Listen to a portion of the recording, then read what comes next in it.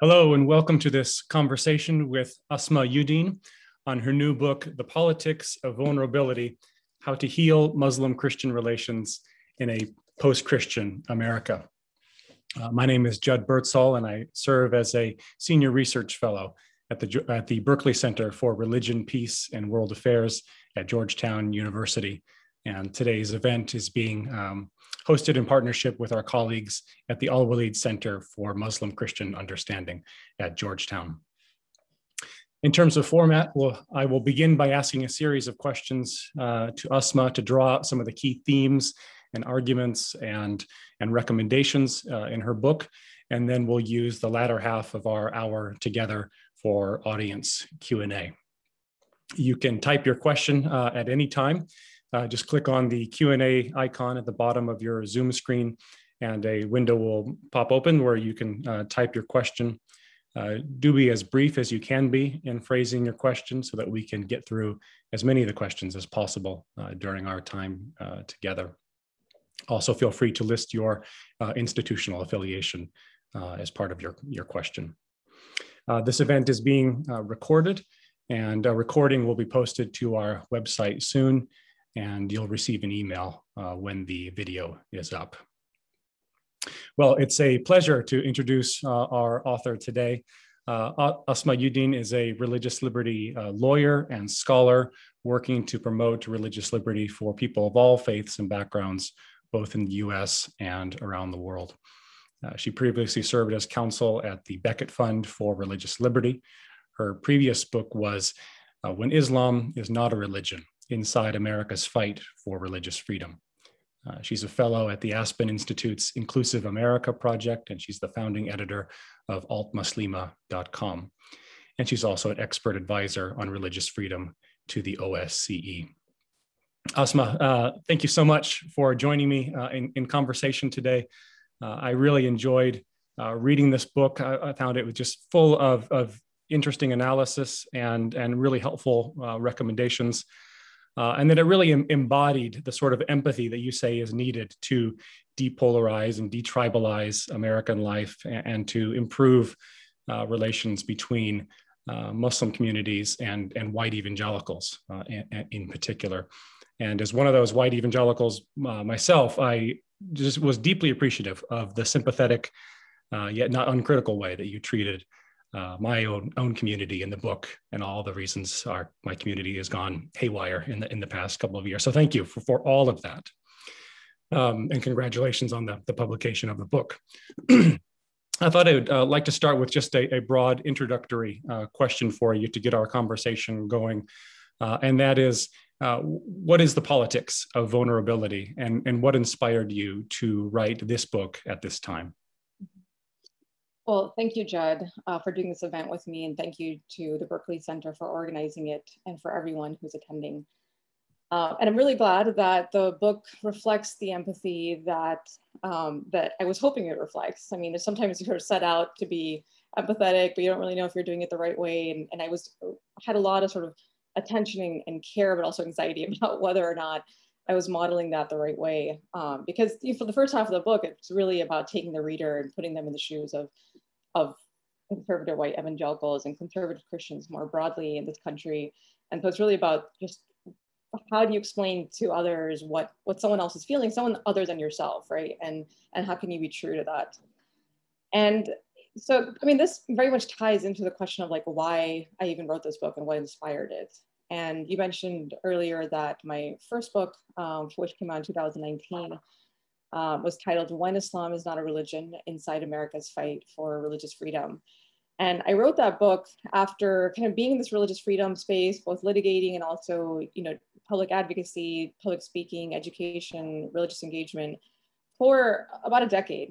And you know, noticing a lot of trends, but one trend that I was really troubled by that got that inspired the first book was this phenomenon of a group of people being very, very committed to defending religious freedom for themselves and the idea this idea the sort of like abstract idea of religious freedom but then also unfortunately being either supportive or at, at, at minimum um, not really worried about this claim that i was hearing increasingly that muslims do not get religious freedom in the united states Uh, and, and usually tied around this idea that Islam is not a religion, which is a claim that has actually been argued explicitly in court cases.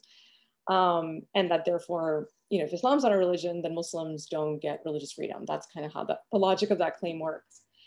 And so my first book, I, I spent a good part of it delving into a lot of the details around that, kind of like who's saying it, why are they saying it, how is this impacting Muslims' rights in very concrete ways and leading to a lot of, of very real problems, um, even beyond the legal space to actual, you know, sharp rise in hate crimes, to not just challenges to mosques um, in their quest to be built, but also once they're built, they, you know, a number of mosques being burned down in part or in whole um, and even challenges amongst you know some conservative Christians. Unfortunately, it tends to be Christians um, to even the building of Muslim cemeteries, uh, which to me is sort of like the height of dehumanization um, when you can't even understand sort of the shared human experience of birth and death. And so I wrote this book. Um, the second half of the book is of the first one is really kind of looking at the culture war a phenomenon that has emerged quite uh, quite prominently in the religious freedom space. And in that part, I, I tell the reader that I this book is about Muslims' rights, but I need you to know that I actually advocate for religious freedom for all groups across the spectrum, including the group that tends to uh, be sort of pitted against Muslims um, in the in the public discourse, um, and that those are conservative Christians, and that I have actually advocated for their rights. And advocating for them, I understand them to be sincere religious believers um, who bring their claims out of a strong need to kind of carve their space out in American society. And so it was interesting to me to kind of go on tour with this book.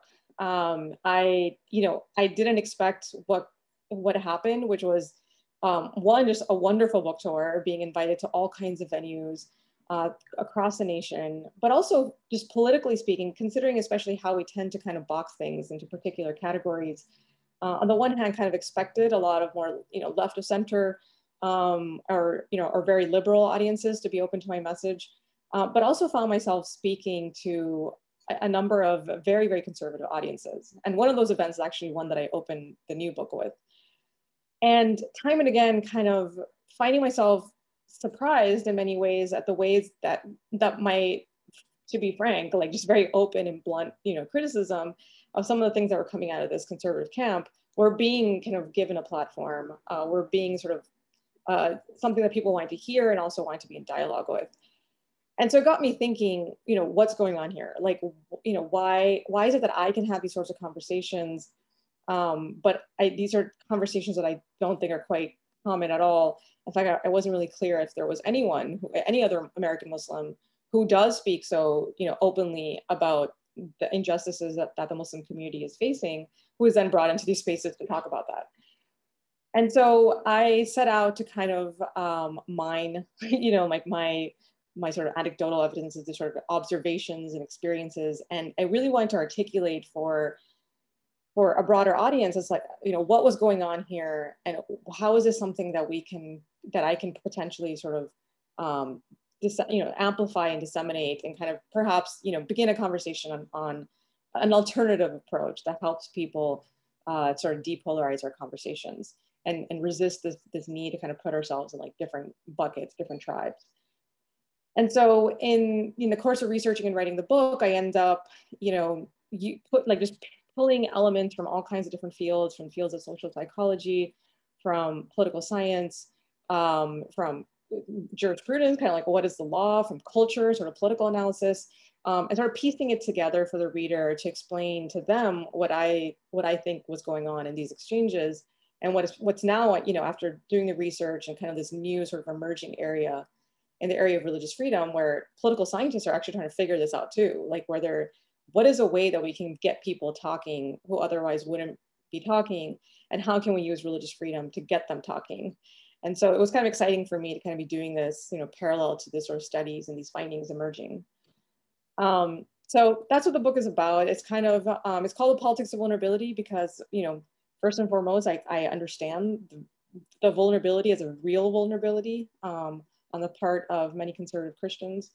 And I of approach them with that understanding that this is something that's real to you and that's not something that's fake. It's not a pretext. You're not just saying you feel this way or that somehow feeling this way is, is unnatural or, or inherently bigoted. Uh, but this is just a really human thing that you're experiencing. And, and I understand that, but I also, I'm really concerned about the way that that vulnerability gets politicized and weaponized.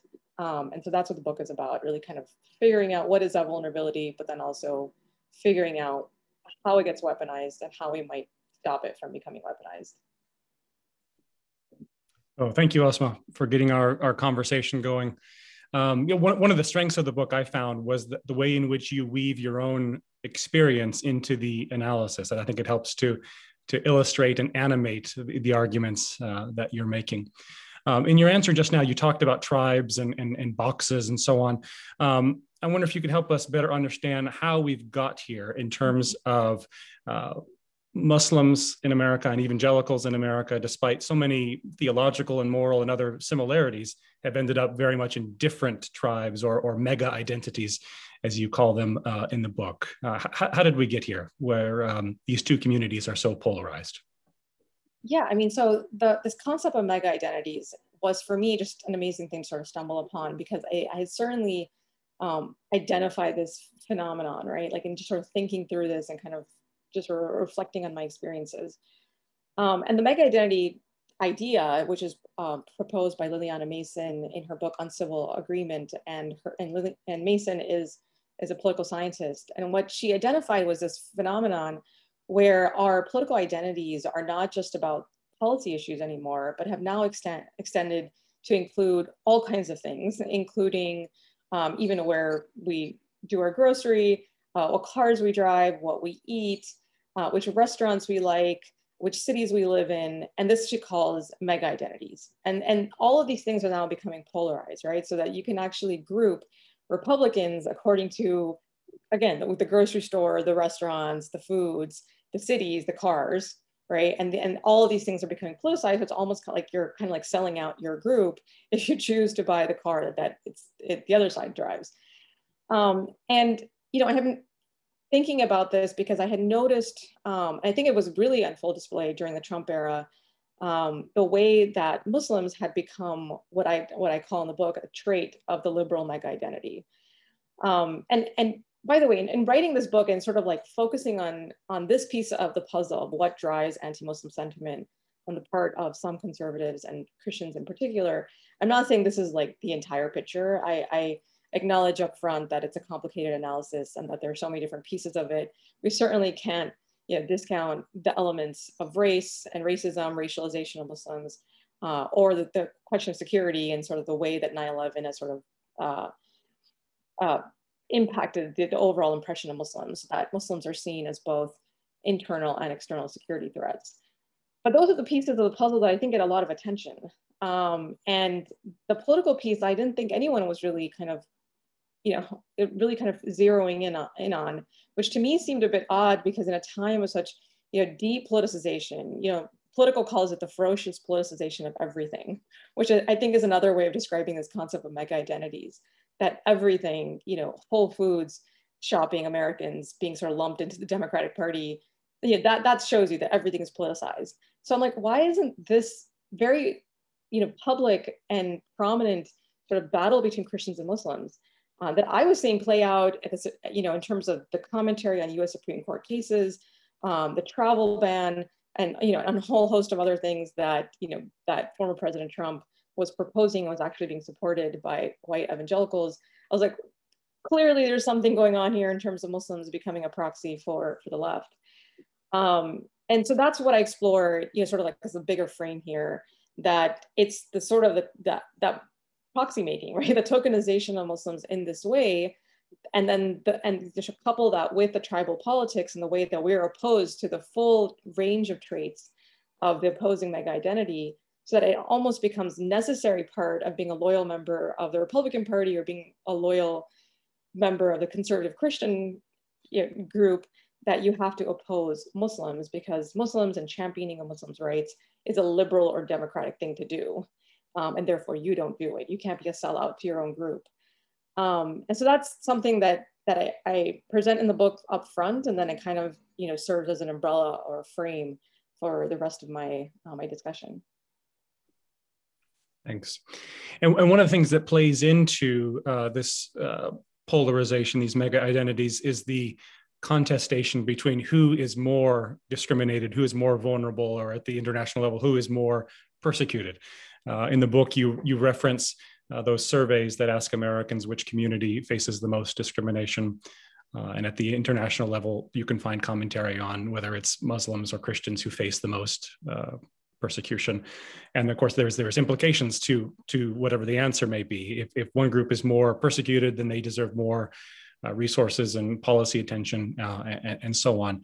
Um, what, what, what's your take on this this contestation or the perceptions of who is is persecuted or discriminated against more? Is that a, is it helpful to make those sort of comparisons?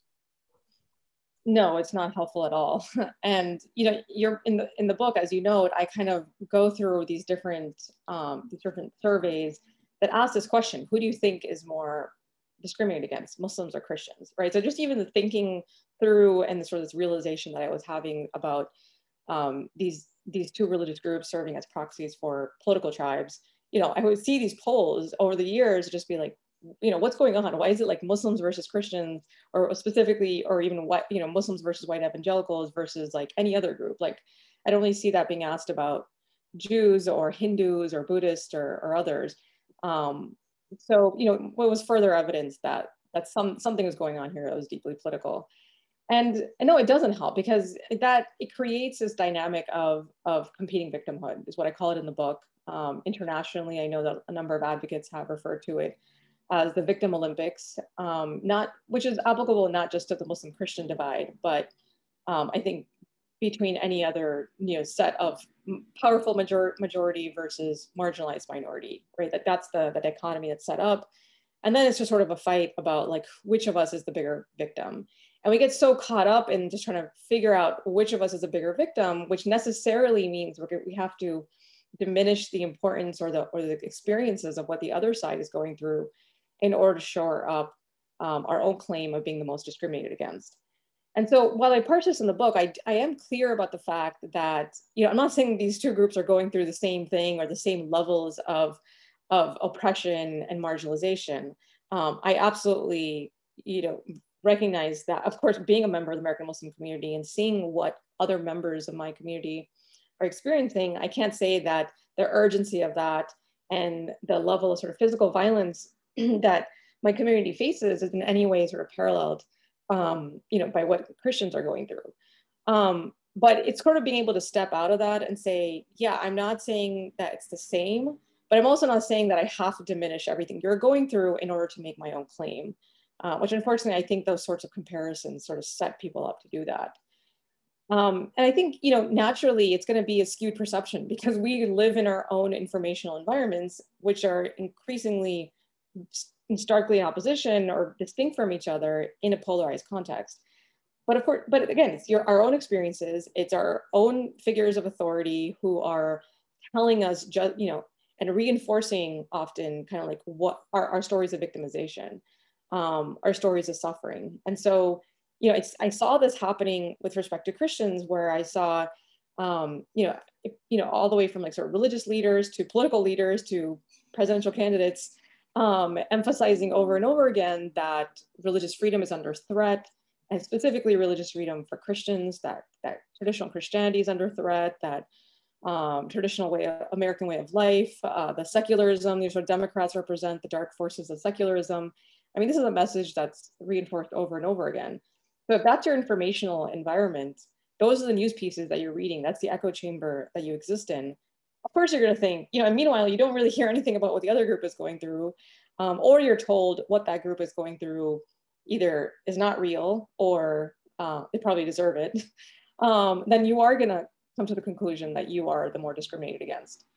Um, and so in the book, I actually tie this into the way specifically religious freedom is sort of interwoven that the narrative of religious freedom because suddenly you're told that you're under threat your religious community is under threat and the way to protect you is uh, to protect yourself is to use religious freedom as sort of a shield for your own interest. Then that sort of converts uh, or transforms religious freedom into a partisan tool. Uh, there's two pieces, pieces of that. It's both a shield to protect your own interest but also a sword to sort of minimize um, the rights of others. Very good point. On, on the, the question of um, hostility towards Muslims or discrimination against Muslims, you note in the book that you generally try to avoid using the term Islamophobia, which is often a sort of shorthand way of getting at all of this. Uh, wh- why do you tend to avoid that term? First and foremost, because I am trying to communicate in a way that actually gets my message across. Um, and so I don't want to use words and and frames that will immediately make the other side sort of resistant. Um, and I mean, this was something that, you know, I, I was sort of contest- debating on a number of different fronts, even uh, sort of the subtitle to the book says how to heal Muslim Christian relations in a post-Christian, Amer- uh, America. And I remember there being lots of debate about whether or not it was a good idea for me to put post-Christian America there. Um, ultimately decided that, you know, I, th- I, think it was, it was important. Um, but, you know, like it was just like, how do I get people to understand not just what I'm saying. I mean, that's a piece of why I left Post Christian America on the on the title because I have to be true also to what I'm what I'm trying to communicate. Um, but also if if you know making sure that the message is actually communicated. And so with respect to Islamophobia, again, it was lots of you know observation and also just sort of feedback by experts in the field that um, Islamophobia just doesn't sort of land the way you want it to land. It doesn't really make people, uh, particularly on the political right, you know, think um, you know, in empathetic terms. You know, we, we started this conversation about empathy. It doesn't it doesn't pierce through that competing victimhood. Um, you can have a million headlines about the rise of Islamophobia, but it's still going to make, for example, people think that they themselves are more persecuted against, or that Islamophobia is something not real. And in fact, uh, a writer in the National Review referred to Islamophobia as Islamopho, F-A-U-X-bia, right? So kind of like, oh yeah, right, like that thing is sort of like mostly made up and, you know, or to the extent it's real, it's not as serious um, as the left is always making it out to be. Um, you know, lots of commentators and critics on the right to kind of talk about Islamophobia as essentially being, um, you know, just another reflection of liberal political correctness that tries to uh, take attention away from the real problem, which in their minds is, is Muslim extremism. And you can't have a critical conversation about Islamic extremism. They call it, you know, if if you keep saying Islamophobia and that you're basically sort of infantilizing Muslims. Um, and so kind of seeing that a lot. Um, but also specifically because this book was about evangelicals and also kind of hearing from people in the community that they think of Islamophobia and any number of these other terms with phobia attached to it that any sort of disagreement um, is, is sort of like a shaming tactic that it's like we can't again for you to express xyz position is by itself sort of inherently something um, that's bigoted. And so you know we can't have the conversation and you're going to make me feel bad about it. You're going to sort of make me feel shameful about it. Um, and that and they sort of shut down in response to the term islamophobia. Um, and again you know and another thing i talk about is the way that the term has now further sort of exacerbated the dynamics of, of victimhood, of competing victimhood, so that there's a, a, rise in this use of a term called Christophobia. And so like if this is the way we're going to talk about this, and this is something I talk about even in, in the context of, for example, the way um, claims are presented now legally in terms of, you know, each group as a, as, as a despised group, the rise of sort of civil rights claims and the sort of group identity dynamics that happen there similarly, it's like, well, if we can't really fight it, then we're just going to do the same thing and we're going to come up with a term and say, now we are this identity group um, that also has a phobia against it. Um, and so, you know, for all those reasons, I mean, of course, I do use a term in terms of, you know, quoting other people who use it, or if there, or if there's different reports that have the, the, the word in the title, I'll bring it up in that way. Um, but I do try to otherwise avoid it. Um, and also focus on specifically for anti-Muslim sentiment, that this is about people, not about religions per se, but about what people are going through. I wanted to ask you a question about another contested term, and that is the very term religious freedom, which is increasingly fraught. And you, you talked about it as um, a potentially a, um, a, a shield and a, and a, and a weapon uh, in our tribal uh, warfare in, in, the States. Uh, in the book, you urge um, progressives and others on, on the, the cultural and political left uh, to not just interpret evangelical or conservative use of the term religious freedom as a cover for um, some form of, of, of bigotry. Uh, wh- why, why do you hold out uh, the, the possibility of the positive, uh, capacious use of religious freedom? Sure. I mean, I think because I just don't believe that it is a pretext for bigotry. I don't think that this is all just sort of, um, you know, a project of in hate, right? I actually think that the religious freedom claims represent genuine religious beliefs. Now, I think on this point, I think it's important, you know, to sort of focus on the distinctions that I make in the book. Um, and the first part, you know, part one is titled "Which Christians?" Right. So I'm talking about Muslim Christian relations, and I'm trying to sort of present a case on how I think that some sort of bridge building um, can be can be mm, sort of possible in between conservative Christians and and Muslims, American Muslims um, in the United States, and but what I was also noticing in, in, my in on my book tour and the public discourse more broadly is that conservative Christians or conservative white evangelicals specifically were often conflated conflated with Christian nationalists. And so my part one, you know, which Christians, then the chapter there is titled uh, Christian nationalists do not equal conservative white evangelicals. Um, those two are, are very distinct groups. And I think that's important to understand for, for, for the audience now that but there's certain types of people who can maybe be saying the same thing and be using the same language of religious freedom, but have very different uh, intentions behind it, different goals with it. Um, and I distinguish that in the book that Christian nationalists are sort of this group, and this is not a group of people that I am proposing will be amenable to my approach or, or, or people that I can really um, you know, bridge build with, but there's this other group of people that tend to be conflated with them often because they're using the same terms, uh, and often because you know politically expedient to sort of conflate these two groups. Um, and you know, but I have very personal and, and extensive experience with this other group of people that I definitely don't think are Christian nationalists and who are so open um, to you know thinking creatively uh, about Muslim Christian re relations. Um, and who sort of you know sort of embody the same empathy that I try to embody in my own work. And so with respect to the second group, um, absolutely, it's, you know, I see it, I see that it's sincere religious beliefs. Like I, I really kind of like being in that space and understanding the deep sort of religiosity um, and sincerity of faith there, you know, was made it clear to me from the very beginning throughout my work that this language about religious freedom sort of serving as mere cover for bigotry just doesn't have it right. Yes, do some people use it as a cover for bigotry? Absolutely. Um, but do, does everyone who brings those same type of claims uh, use it that way? Uh, not at all. And so it's, again, that sort of element of my experience that I was trying to kind of bring through in this book. And so, um, yeah, I mean, I think those dis distinctions are the clear, the, the careful ones to have here. And ultimately, the book is driving toward this idea that like, if we can engage with people as people and stop trying to conflate them with people that we think are hateful, um, then what ultimately the goal here is that to sort of minimize the hostility and for the politicization of that vulnerability, right?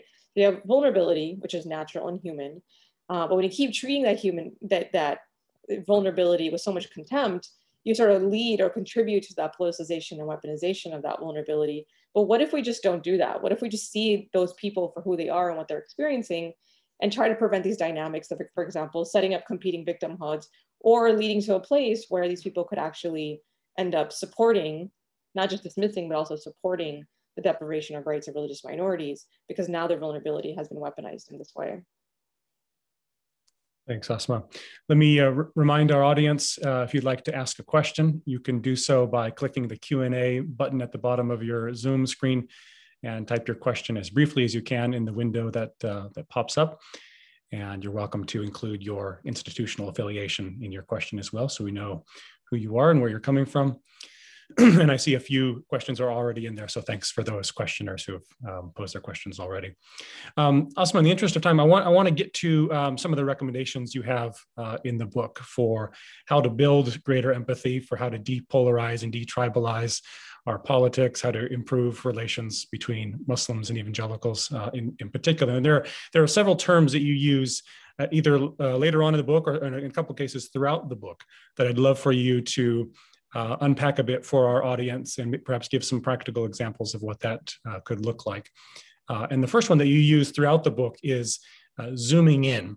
And, by that, you don't mean logging on to Zoom calls uh, like this one, though maybe, maybe it could involve um, actual use of the, the Zoom software. But um, what is what is zooming in and why is it so important and what, what can it look like?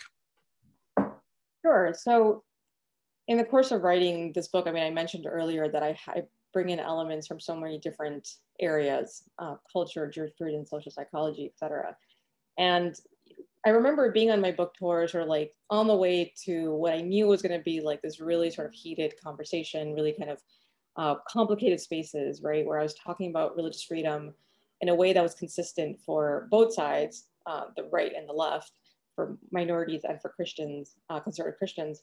And, you know, and how do you navigate some of those spaces, right? And so while I was, you know, feeling some level of um, I mean, I guess some some level of like trepidation around, you know, kind of heading into some of these spaces.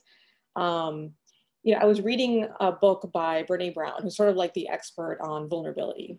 Um, and she has this book called Braving the Wilderness. And I found what she was saying about vulnerability and the need to sort of like lean into our vulnerability instead of sort of using the vulnerability against others uh, to be really helpful in the way that I was thinking about what I was doing in these exchanges.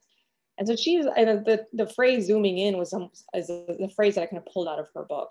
Um, and she's like, you know, in our times like this, where it's so much about this process of, you know, try to come into our own group or our own tribe and position ourselves against others, a lot of that is driven and exacerbated by this phenomenon where we sort of just look at what the news media is saying and what you know different articles and commentary in our and our echo changer says echo chamber says about the other group now what we're doing is we're sort of taking that as the truth about what those people are as opposed to like she says zooming in and kind of figuring out who those people are as people like who are you actually as opposed to what is it that's said about you.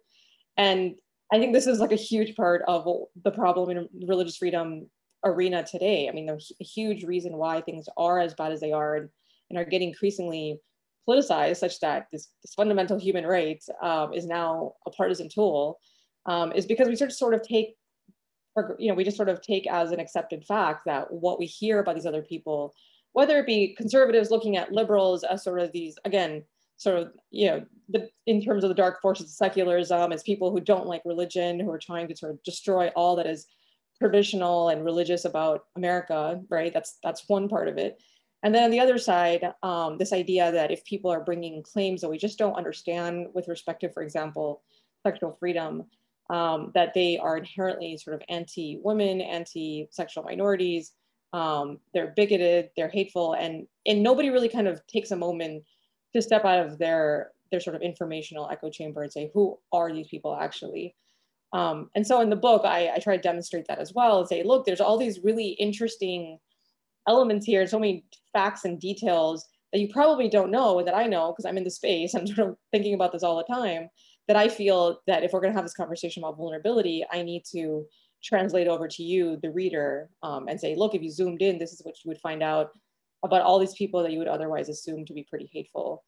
Um, and so I, I think zooming in, and, I, and it goes, you know, in this Muslim Christian divide, it, it absolutely goes from the other direction as well. I think Muslims are have have been um, for a long time and are still kind of thought of a, as a monolith.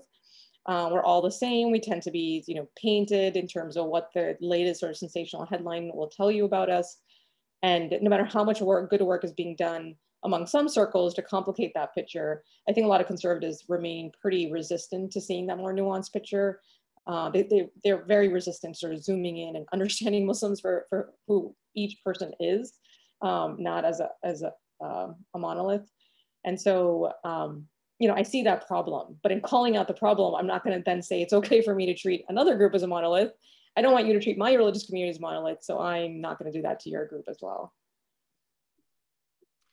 Two other uh, recommendations or terms that I'd like for you to, to unpack for us if you're happy to. Um, uh, one is uh, superordinate goals. What, what are superordinate goals and why are they helpful in this uh, context? And then the other one that jumped out to me was your discussion of tolerance, which often gets derided today as something very flimsy or tepid or just a very, very low bar. But you present it as, as an important first step in all of this. So your thoughts on superordinate goals and, and tolerance. Sure. So subordinate goals and tolerance are both strategies or um, social psychological strategies to help heal intergroup divides. Um, and yeah, I was a little bit sort of, you know, I understood that tolerance tends to kind of be dismissed um, as something that just sort of like, you know, kind of like an idealistic way of thinking. But I presented specifically in terms of these empirical studies. Um, and tolerance being sort of the distinction between kind of looking at another group of people as a group of people, as opposed to looking at them for the specific beliefs and practices that you know that you think that are, are, are that you object to or have questions about, right? So kind of creating that that separation, which I think again is kind of going back to this idea of conflation, where you might hear that you know XYZ conser- you know prominent conservative Christian speaker um, holds the a particular set of views on sexual freedom or religious minorities and have this impression of the whole group. Um, and then in, in the process of which you also then conflating them with a different group, which is Christian nationalists, right? So there's, there's like multiple layers here. But tolerance says to not see them as a group, but to see them for the specific beliefs and practices. And then from there, kind of like figure out, you know, why um, these things are the things that you might be, even if you completely and very passionately disagree with, what might be some reasons for you to actually tolerate them or put up with them or create space and actually defend them? I would say would be the second step, right? Um, to actually defend a public space where these things are, are, are allowed to be expressed. Um, and in many ways, it sort of overlaps the idea of subordinate goals um, because in the context of beliefs and practices, and again, it, it's not things that we can all agree are just kind of like outside the pale where you know where things that they're not things that sort of um, involve violence or uh, you know physical harm to people. Um, but things like for example the things that we are divided over such as positions on same-sex marriage uh, and other and, and abortion for example. And you know what might be a reason for us to try to create a space where dissent is possible dissent has a space is because we believe in sort of these overarching principles of of pluralism, of free speech, and religious freedom. And subordinate goals is that same idea. Like, how do you get these two groups that are sort of wired to be in conflict with each other because they're basically part of two different groups, and that's what you do. You compete, you compete with the opposing group, um, and that's a huge part of it. It's just sort of very human group identity dynamics that are at play here um, how do you get them to work together? How do you get them to actually stop seeing each other as the enemy? And it's when there's a goal that you can only really achieve if you do work together. And this was, again, a sort of a technical um, description, a term that I came to to find to, to describe what I was already seeing in my engagements. You know, this whole thing started with my experience sort of being on my book tour and um, you know, being in spaces that were very, very conservative that I know for a fact would not necessarily have been open to my being there if it wasn't for the fact that I was talking about religious liberty and talking about religious liberty in a way that that resonated with them as well. Um, that wasn't talking about religious liberty as some sort of special interest pleading, where I'm here to talk to you about religious liberty for my group and while opposing it for your group. Um, and so I kind of parse that in the book, like um, how can religious freedom be that subordinate goal that helps us to kind of come out of our respective tribes and actually work together. I see our, our Q&A box filling up with questions. Thanks for, for those. Um, I wanted to conclude my series of questions for you by asking um, about the context now of the Biden administration. The afterword of the book uh, touches briefly on, on the Biden era um, you note his uh, his victory speech uh, in November, his inaugural address, some of the themes there. Um, you talk about uh, how there is uh, at least some indication of a, of a um, peeling away uh, of white evangelicals from Trump or, or Trumpism, but also some concerns such as the Equality Act that could re-intensify those feelings of, of vulnerability, which then would get played upon by certain political actors who want uh, to intensify those those feelings of vulnerability. Um, how do you see this playing out over the, the, coming years of the Biden administration, and and what can the Biden administration do to um, to bring the sort of unity uh, that uh, Biden has talked so much about? Sure, and yeah, it was a really interesting sort of process writing the book you know, during when we were still very much in the Trump era and all the sort of Muslim Christian dynamics that were created there, and to be talking about that, but then you know, getting to a point where I was done with the manuscript and then Biden was elected and, and just a consistent theme of both his, his victory speech and then his inauguration speech was, um, you know, about unity and about sort of lowering the temperature. And that was the other part of it, right? That's sort of this other major theme in, in the book was like, how do we um, lower the temperature, lower perception perceptions of threat so that people's vulnerability is not politicized and, and weaponized. And so it's kind of interesting to kind of be writing about this at, at a time when we are you know, tr literally transitioning from these modes of, of thinking. Um, and I think with respect to, to how Biden can approach this, I think it's, it's in many ways, it's the types of things that I present um, as strategies, as viable strategies in the book itself, right? So the things we were talking about just a little while ago in terms of zooming in and the superordinate goals and so on.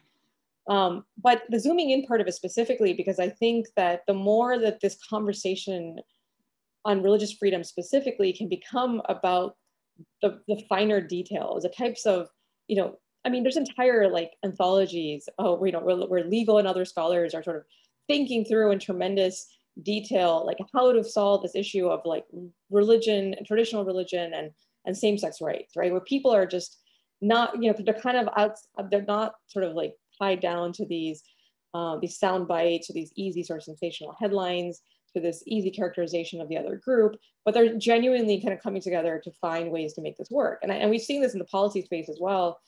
For example, with respect to um, the Fairness for All legislation or the Utah Compromise, both which were sort of contributed to the, in, and, and worked out in close relationship between gay rights groups and uh, conservative Christian groups who are kind of trying to figure out what's a way that we could do this and change the narrative away from from hate to something that just understands each of us for what our needs are and finds a space for us to coexist. And so I think that those sorts of things, and I think it's a, it's a work in progress. I think there's things that even I'm continuing to sort of build on in terms of my research here. Um, but it's just like, if we can just, if, even if that shift can happen, it's not so much even that the resolutions will always be, you know, we're not going to reach a perfect resolution where it's, it's always going to be that compromise resolution. But I think if we can shift the way that we are approaching this, um, then that I think that the compromise will be possible in some areas. And even in areas where it's not possible, I think just the way that that's talked about in sort of non, um, in ways that sort of acknowledge the humanity of the people who are opposing it, as opposed to sort of, um, you know, political speeches about how the other side is inherently kind of coming at this from a place of hate, um, then I think that's going to be like the biggest sort of shift. And, and, I, and I realize how complicated it is, but in a frame that is focused on lowering the temperature, I think uh, there really is no other way to lower the temperature um, than to actually acknowledge the other side as people who have legitimate grievances. Thanks, Asma. Let's go now to our uh, audience Q&A. We have several here now. And, and again, if you'd like to ask a question, just type it in that uh, Q&A box. Um, first question from uh, Fouad Shabad, and he, he said, uh, Thank you for the informative introduction. In, in the category of evangelical Christians and Islam, where do you place groups like, or individuals like Franklin Graham, uh, Robertson, I assume Pat Robertson, John Hagee, leaders of Liberty University, and, and others? Um, and maybe just to, to, riff on that a bit, um, when uh, Franklin Graham says something quite derogatory uh, about Islam, or, or Robert Jeffress or someone else um, says something quite derogatory, um, I find that I want to say, oh, they don't speak for all of us, but clearly they do speak for a lot of us and they have enormous influence. Um, uh, curious to get your thoughts on, on what to make of these sort of, uh, of these leaders who say unhelpful things and maybe where you might place them in your spectrum of, of Christian nationalism that you had in one of the early chapters of the book. Yeah, I mean, you raise a couple of important points, both Fouad and, and Judd. Um, you know, on the one hand, you know, I did say that I don't like how communities are treated as monoliths, but I also think that even that comparison in some ways has to be further complicated. And, and I fully recognize that because unlike, you know, violent extremists, that's not something that is, you know, being talked about and promoted at like Islamic universities or universities in the Muslim majority state, or something that's in any way sort of mainstreamed in that way, as opposed to when I say that I want to talk to Christians and say, and I don't want to treat you all as a monolith, there is a sort of tricky problem of some of these very problematic things being amplified at entire universities and entire television networks, right? Um, and so in the context of the book, like I actually, you know, the person I, I kind of identify as like the representative of Christian nationalism is, is Robert Jeffress, so somebody that you just um, that you just mentioned, and I think that you can make some analogies. I mean, I do mention Franklin Graham uh, and Robertson at, at, various points in the book, um, but you know, as this person that I mean, I think it's important to understand the distinctions between Christian nationalism and uh, conservative white evangelicalism. And again, I, I use those two because those are the two that are often conflated with each other. And certainly with all the extensive analyses of white evangelical support for Trump, I mean, there was so much attention on this particular group. And a couple of different things. I mean, in the book, I do get into this in way more detail, um, but two main points in terms of the distinctions between these two groups is what are they, what are the goals? Um, and also what is the role of religion? And so, you know, for, and also in terms of posture, offensive versus defensive posture, which sort of comes out from their goals. And so Christian nationalists, their goals are first and foremost political. And, and whereas religious goals are not only just secondary, but in some cases kind of irrelevant in and of themselves, uh, to the point where you, you saw Robert Jeffress saying that um, he, he actually sort of celebrating the fact that Donald Trump did not reflect sort of Christ-like character characteristics. Um, it was just like, well, what we, what, what we need to achieve the political goals is all that matters, as opposed to doing it in a way that sort of realizes and reflects our religious ideals. And so two different groups, for one, politics and political goals are primary, and for the other group, religion and religious goals are, are primary. And again, not establishing the US as a Christian nation in a way that excludes other people. Again, that would be a political goal, whereas a religious goal would be something about what your values are and how you want to be able to live them out in, in public society. Um, which then also goes to this question of like posture that I, that I, that I identify that Christian nationalists take an offensive posture. It's about kind of obliterating the forces and the people and the groups and the ideas that in any way threaten their idea of what America should be. Whereas conservative white evangelicals take a defensive posture and sort of bring, for example, the religious liberty claims that they do because they're trying to carve out a space for themselves in, in a country that they think um, doesn't fully understand them. Um, and they're just trying to sort of be, they just want to do what they want to do as opposed to trying to you know, make that the norm for everyone else. Um, and so those are the ways I distinguish those, those two sets of people. And then I think based on that, I think you can probably group uh, Graham Robertson and others um, pretty easily. Thanks. A question from uh, Andrew Congdon, who's a, a, graduate student at uh, Georgetown. And this gets to something you raise in the book around um, the difficulty of breaking out of our tribes and being labeled as black sheep and so on. Uh, he asks uh, for progressive Christians seeking to engage fellow Christians and evangelicals around understanding and countering uh, Islamophobia. What recommendations would you have for those of us who oftentimes find our efforts rebuked or labeled as apologetic or misguided? Well, I mean, there's there's a number of groups that have um, that are sort of working on precisely that question, right? And for example, there's a group called Neighborly Faith that I have done a number of events with, and they're very much focused on on sort of this message of like nothing about this this this dialogue or this process is about in any way letting go of who you are authentically, right? Like, this is not about you watering down your beliefs. This you can say fully authentic um, to your, your identity as an evangelical Christian, to your idea of what is truth, what is divine truth. Um, and none of that is sort of impeded when you engage in this, in this conversation.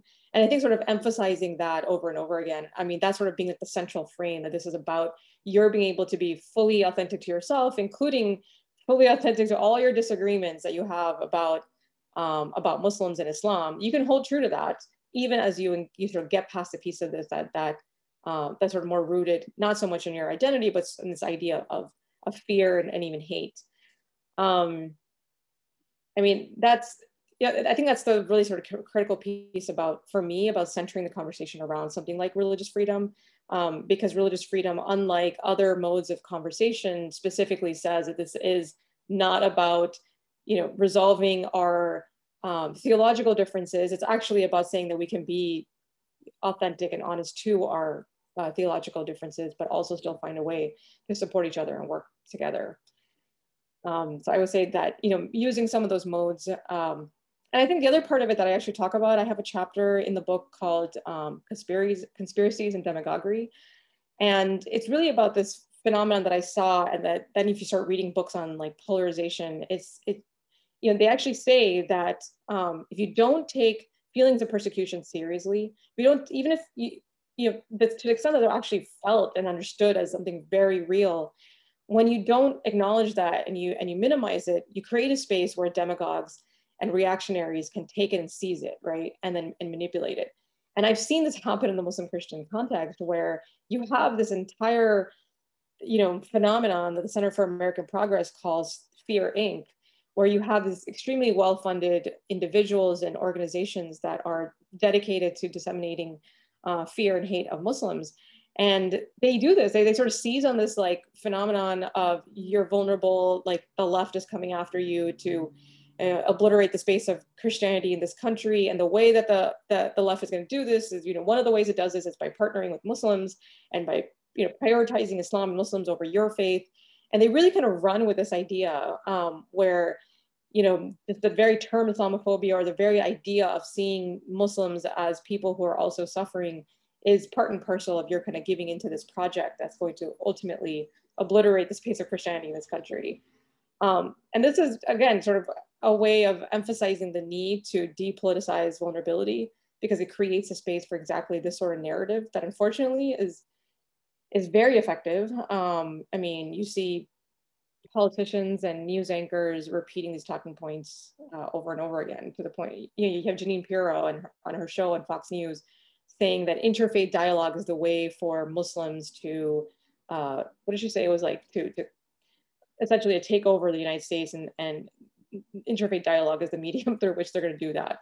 And you create the space where these things become believable in some ways uh, because these people are sort of, you know, being in the space where they have, they have this vulnerability that's not being acknowledged, except for the people, except for by the people uh, who are seizing on it and weaponizing it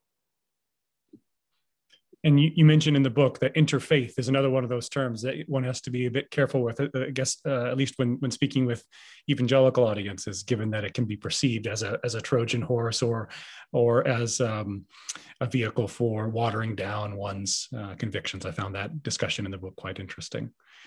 Um, a couple of good questions here from uh, Steve Lipson that um, I guess sort of touch on the superordinate goals uh, theme in, in, the in the book. I'll, I'll pose both of these to you. Uh, he asks, uh, is there a risk that conservative evangelicals and Muslims coming together could align on one side of the culture war, uh, opposed to LGBT rights, for example? Or is there a way that promoting Muslim evangelical relations could tamp down the culture war and improve relations with the left and the LGBT community as well? And then his uh, second question uh, is how would you recommend handling discussions between evangelicals and Muslims over the issue of Israel, where many evangelicals and Muslims have very different views? Your thoughts on those questions? Sure. So on the LGBT question, um, and I think that that is, I think maybe the initial reaction, maybe to when people hear about coalition building uh, with conservative Christians, it's like, well, the coalition building is only going to end up serving a particular political goal. And I think that's the, you know, there's a point of this where it's like we have to think about this in terms of the utilitarian impact, right? And, and appealing to people's self-interest, but also making sure that this isn't all about self-interest, right? This isn't just about, once again, achieving that goal that you're trying to achieve. And then you're sort of essentially tokenizing and using the groups that you can use to achieve that goal. And I think that that's a really important sort of part of this. Um, that has to be some, rooted in something more sort of deeply moral, this idea of what is right and good. Um, and then this, this, you know, so, so yes, there is this, this possibility, this danger. And I, I don't think that that's something necessarily that um, my framework is leading toward. I think to the extent that that's possible and happening, that's going to happen, you know, regardless of what, um, you know, sort of the framework of, of, engagement that I'm presenting in the book, which is really about kind of focusing on people as people and focusing on vulnerabilities. And, and I talk about this LGBT question because in writing the book, you know, I realized that for, for Christians, it wasn't that they were primarily concerned with Muslims as the, the big threat in American society. The concern, the primary concern for conservative Christians is what's going on with respect to sexual freedom and sexual minorities. And so in writing the book, it was really kind of like, how do I talk about that, which is ultimately the central issue, but how do I explain that as ultimately creating a dynamic where American Muslims are collateral damage. And so there is a significant portion of the book where I kind of get into the question of LGBT rights and then then then kind of extend the conversation out to how, how if we can change this conversation with on, on questions of LGBT rights and religious freedom, um, or conservative religious dissent, um, how that will then have an impact on the Muslim question. Um, and so in terms of could tamp down the culture war, this idea, the, the framework that I'm presenting in terms of um, acknowledging vulnerability as a way of lowering the temperature and recognizing shared vulnerabilities across groups instead of, instead of competing to be the bigger victim, um, is one that is actually being used in the context of um, you know, Christian LGBT peacemaking. Um, and so it's, it's useful in that way. So it can absolutely help tamp down the culture war Another way more broadly is that we can just get past this dichotomy of powerful majority versus marginalized minority. Um, I say early on in the book that the goal here is to talk about polarization without papering over marginalization and to talk about marginalization without exacerbating polarization. And those two things often just, I mean, that's a dynamic that just doesn't exist. It's, an either or type thing, right? We gotta, we gotta advocate for one and if we start talking about the, the problems of polarization, that's almost like seen as selling out the question of defending marginalized minorities. But I was like, is there a way, and can I do it in this book, where we can actually talk about both and not be counterproductive? Um, and that's the, the aim here. And again, absolutely with the goal of tamping down the culture war. And in terms of improving relations with the left and the LGBT community as well, that, that is also a piece of it in, you know, a number of legal scholars and other commentators have pointed out that the more you can see, for example, conservative evangelicals as people, like that also then translates over to how they will then be able to see the people you're defending as people. And you know, I say this in the context of Muslims. Like, if you're really concerned about protecting Muslims and from from these attacks, the way to do it is not to keep making these people feel like they, you know, put them in a sort of in a state of being where they feel like they have to attack. And I'm not putting all the blame on the left. I'm just saying this is a piece, one piece of it. Um, but if you really want to protect this marginalized group, then you need to, to sort of take a different tact here to be more effective um, in, in, in sort of protecting them. And then the question of Israel, I mean, this isn't something that um, that I think I can answer, um, you know, in in a helpful way, um, and not something that I'm like usually engaged in. I say pretty sort of laser focus on on domestic issues and on religious liberty and all the related issues with, with religious liberty right now. So that's sort of the focus of my work. All right, we're, we're coming to the uh, end of our time now. Let me ask uh, one, one final question for you and then we'll uh, wrap up. This question from Philip Fernandez. He asks, uh, what role do migrant Christians from Islamic countries play in the understanding of Islam in North America? Well, I think um, I mean, there's two pieces of this, right? So to the extent that Christians and the many Christians that I've met that who live in Muslim majority states and um, have an understanding of, of Muslims and Islam that's very different from the way that it's presented in the US. In the US, with Muslims being 1% of the, of the American population, it's pretty easy to, for external actors to create a very sort of skewed perception of who Muslims are um, and to kind of create this image of Muslims as a monolith, as all one and the same. Whereas if you live in a Muslim majority state, you kind of see the diversity of, um, of Muslims, Muslim practices, Muslim beliefs, and have much, much closer relationships in a context in which they're just 1% of the population. And so I think to the extent you're kind of coming at this from that perspective of, you know, people who have that understanding, um, who probably in their own way have, you know, thought through coalition building and working together with their Muslim neighbors in those contexts, bringing those experiences here to help uh, to help nuance that idea, that sort of antagonistic perception of Muslims to say that, look, it's actually not, there's nothing inherent about Muslims that makes them so different, that makes them your natural enemy, right, to evangelicals. Um, you know, I think, there, let me tell you about these other experiences. I think I think that's the primary role, just to, to help diversify that that perception. Great. Well, thank you so much, Asma, for joining me in, in conversation today. This has been enormously interesting and helpful. Uh, thanks to our audience for um, logging in, for zooming in in their own way uh, today and learning more. And again, I encourage all of you, if you're interested in learning more, to get a copy of, of the book, which I uh, just thought was uh, fantastic. Um, I want to thank my colleagues at the Berkley Center for uh, putting this on and for our, our colleagues at the um, Alwaleed Center for Muslim Christian Understanding for partnering with us. Uh, but Asma, thanks once again for sharing your insights and your time with us today. Thank you so much for having me.